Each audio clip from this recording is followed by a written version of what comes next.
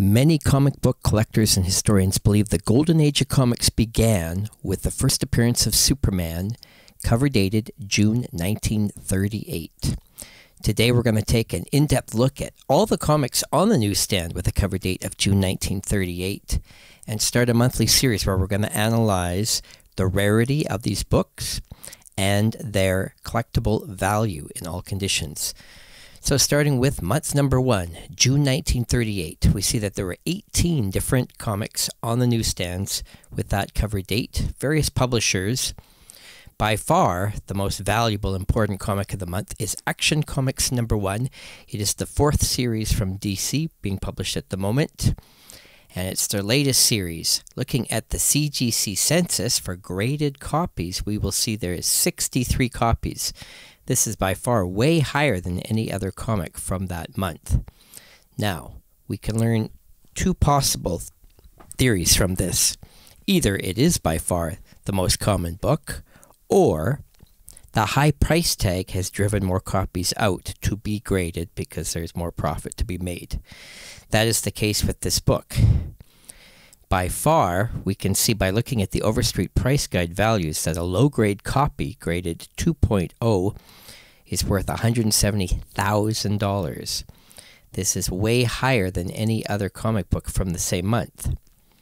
We could generally speak and say that these comics are all roughly the same rarity but the high demand and historical importance of the first appearance of Superman has driven the price way higher than any of the other books. So let's go through the list here and just analyze this a little bit closer. First of all, let's look for the newer titles. We will see that five titles debuted in 1938 that were being published this particular month. Out of the 18 titles, that means 13 of the titles had been published at least since the year before, if not longer.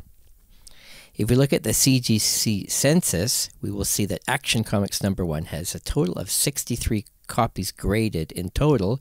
In th three of them, in fact, even grade 9.0 or higher. These are true high grade copies. This includes raw and or er, universal and restored copies. What I wanted to do is get an, an idea of how many copies really are actually out there.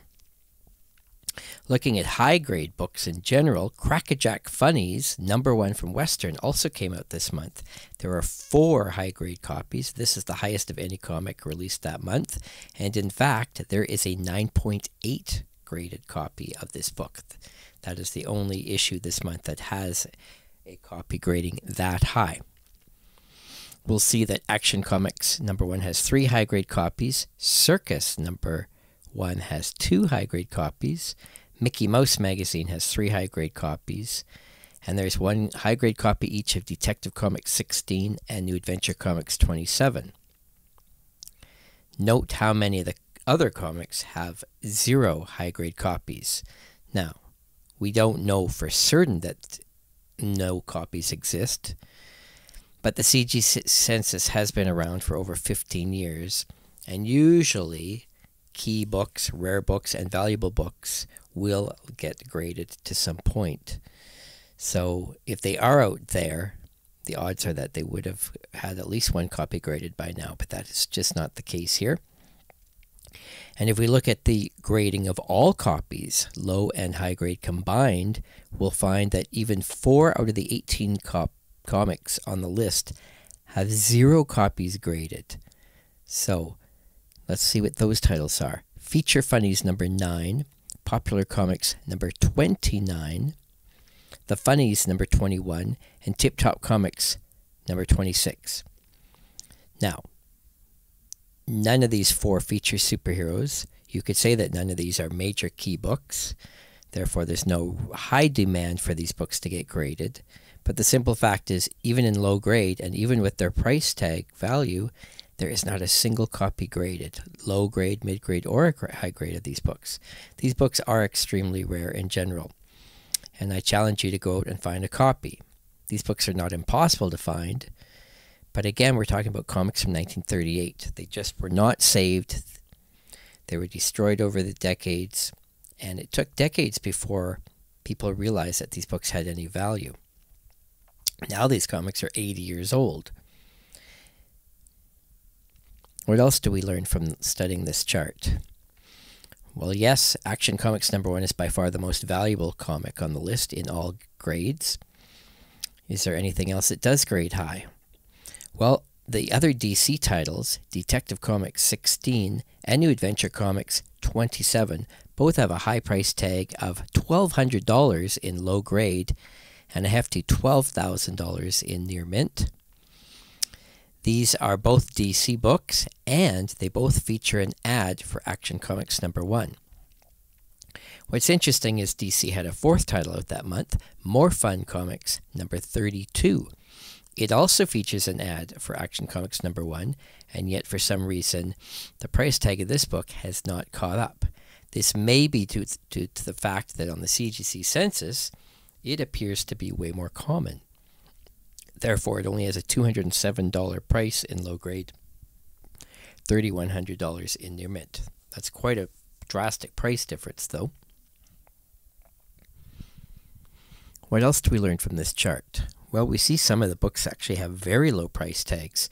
Famous Funnies number 47 from Eastern Color and Tip Top Comics number 26 from United Features both have a price guide value of $39 in low grade and are both in the $520 range mark for near mint.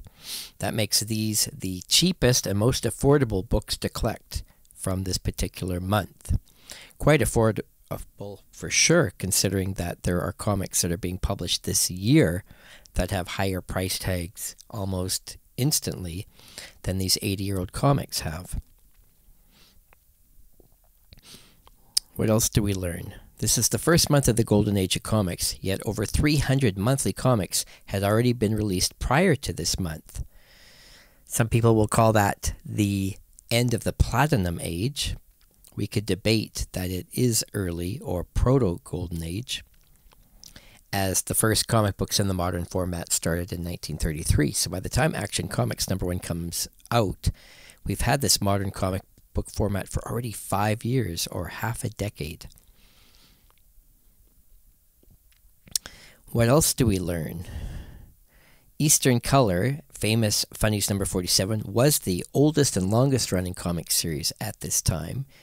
This may be one of the reasons why it has the lowest price tag value of any books, because collectors do usually seek out number one issues, or earlier issues usually do have higher values in general. We're going to continue this series each month to go through and learn the entire history of the Golden Age of comic books and do an analysis of this. We hope this will be quite intriguing as we learn about the rarity, the history, and the value of all of these early Golden Age books.